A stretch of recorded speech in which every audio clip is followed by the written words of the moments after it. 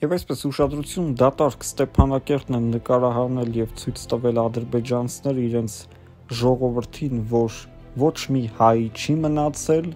դատարկ փողոցներն դատարկ շենքերը, փողոցում զբոսնում են միայն ընտանի կենթանիները, որոնք լքվել են արցախցիների կողմից։ Իհարկե սա շատ սարսափելի փաստ է։ Ստեփանակերտը համայն հայության երկրորդ մայրաքաղաքը ադրբեջանցիների ձեռքում է։ Ոչ մի հայ չմնաց Ստեփանակերտում։ Եվ սրա համար ոչ մեկ պատասխան չտվեց։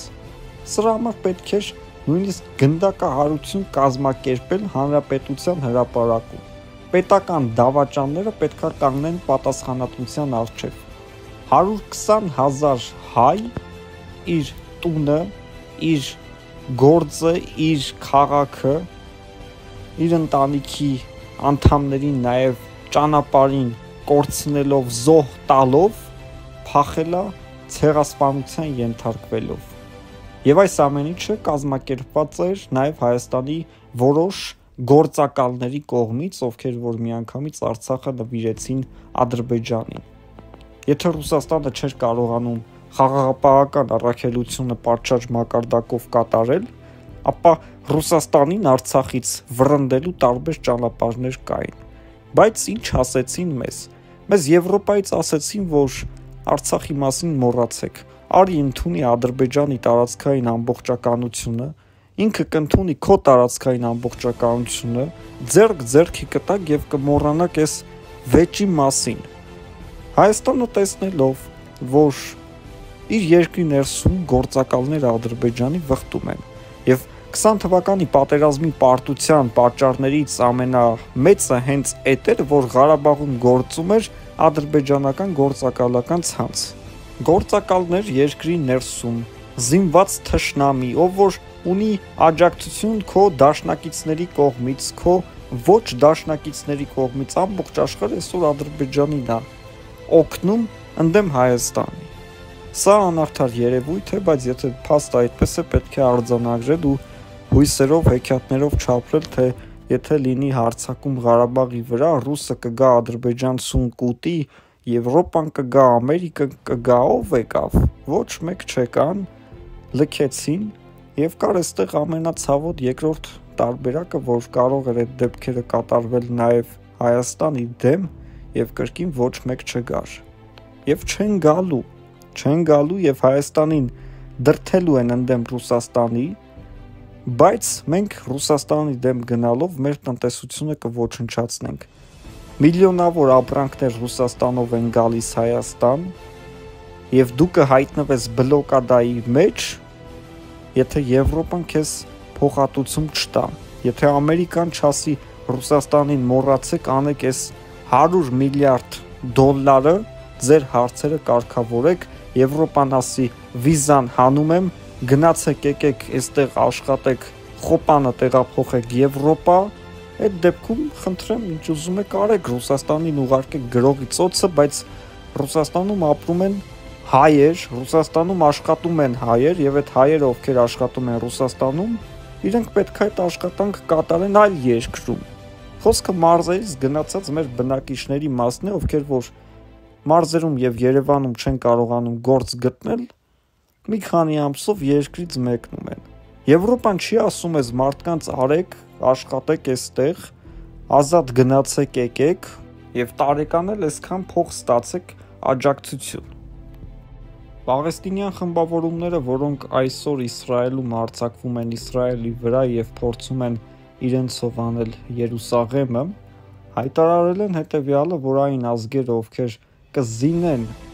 Իսրայելին, կկանգնեն դատաստանի առջև։ Մենք գիտենք, որ ամբողջ աշխարհում կան պաղեստինյան խմբավորման ներկայացուցիչներ։ Հնարավոր է նույնիսկ Հայաստանում լինեն։ Նրանք խմբավորման ներկայացուցիչներ են, որոնք վրեժ են լուծում իրենց ազգին վնաս պատճառածներից եւ հիմնականում նրանք տարածված են Եվրոպայում, Ամերիկայում եւ գնում են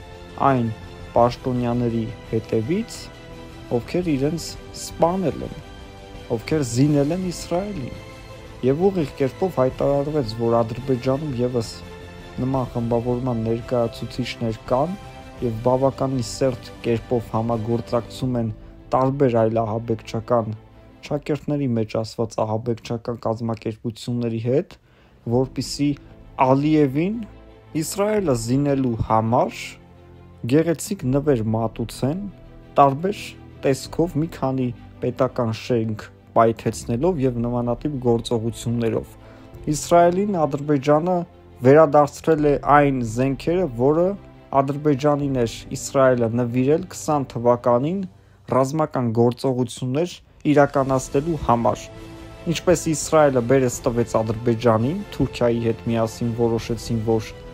Ադրբեջանին զինումը ամբողջ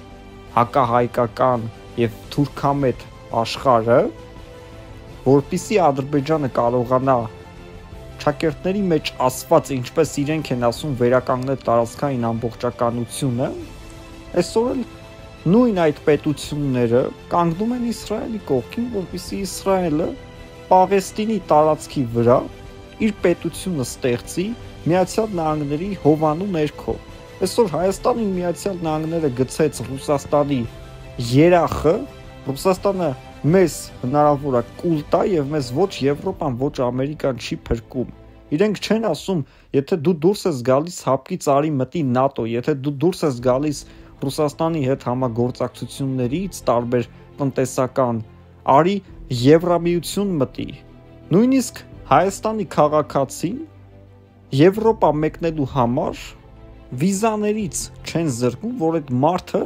չգնա համիսներով տարբեր դեսպանատների դեմը հերթ կանգնի, որpիսի գնա Եվրոպա ինչ որ հարց լուծի կամ զբոսաշրջիկա ուզում է գնա ինչ որ բան տենա գա։ Նույնիսկ Հայաստանին վիզաների ազատականացում չեն շնորում, ելուր մնաց որ իրենք ասեն արի մենք քեզ կպահենք։ Իրենք ուզում են Հայաստանին գցել Ռուսաստանի երախը, Հայաստանը սարքեն Աֆղանստանի պես ինչ որ պետություն, որտեղ որ terroristների հավաքածու է եւ վերջ Ադրբեջանը մի կողմից, Թուրքիան մի կողմից, Իրանը մի կողմից Հայաստանին կհոշոտեն։ Իսկ ինչու Իրանը, որովհետև Հայաստանին Իրանը ասում է, եթե դու չես կարողանում պահել այս ինչ տարածքը, մենք կվերցնենք այդ տարածքը, կպահենք։ Սա ի՞նչ է նշանակում Իրանը պատրաստ է Հայաստանից տարածք գրավել։ Հայաստանը պատերազմելու է Թուրքիայի, Ադրբեջանի եւ հնարավոր է նաեւ Իրանի դեմ։ Եթե Հայաստանը ինչ-որ ղեկավար որոշի, որ Սյունիքով միջանցք է տալու Ադրբեջանին, այդ որոշումից հետո Իրանը կգրավի Սյունիքը, քան միջև Ադրբեջանը այդ միջանցքը կօգտագործի։ Եվ այս սարսափելի փուլում գտնվող պետությունը ուղիղ կերպով դուրս եկավ Ռուսաստանի դեմ։ Ռուսաստանը ոչ մեկի աչքի լույսը չպետք է լինի, բայց պետքա գործել խելամիտ, որպիսի Ղարաբաղի նման նաև Հայաստանը չգնա գրողի ծոց։